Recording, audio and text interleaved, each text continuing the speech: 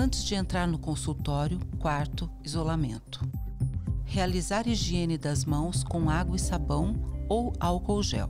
Coloque o avental descartável, impermeável, amarre nas costas na altura do pescoço e cintura, mantendo as amarras na parte de trás. Colocar a máscara e ajustar na face. Colocar óculos de proteção ou protetor facial. Colocar gorro. Após a entrada no consultório, quarto ou isolamento. Realizar higiene das mãos com álcool gel colocar as luvas cobrindo o punho do avental.